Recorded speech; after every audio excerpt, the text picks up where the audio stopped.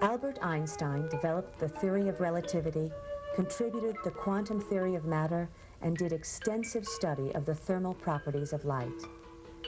He was awarded the Nobel Prize in 1921 for his theoretical explanation of the photoelectric effect. He was a strong advocate of the United Nations in the hope that war could be abolished forever.